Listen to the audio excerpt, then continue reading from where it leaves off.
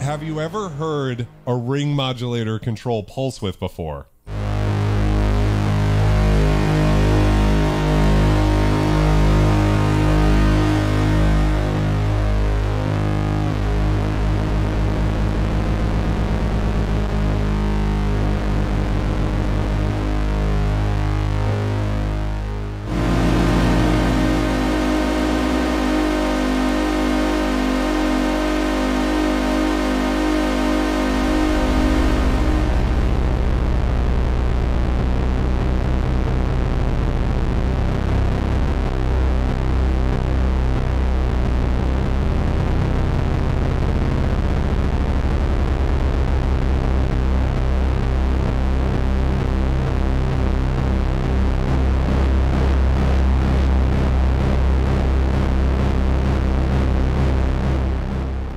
So the way this works is we have to tune the ring modulator to what note we're on because again, it doesn't have that coherence. So we're getting this interesting sort of like um, downward saw motion.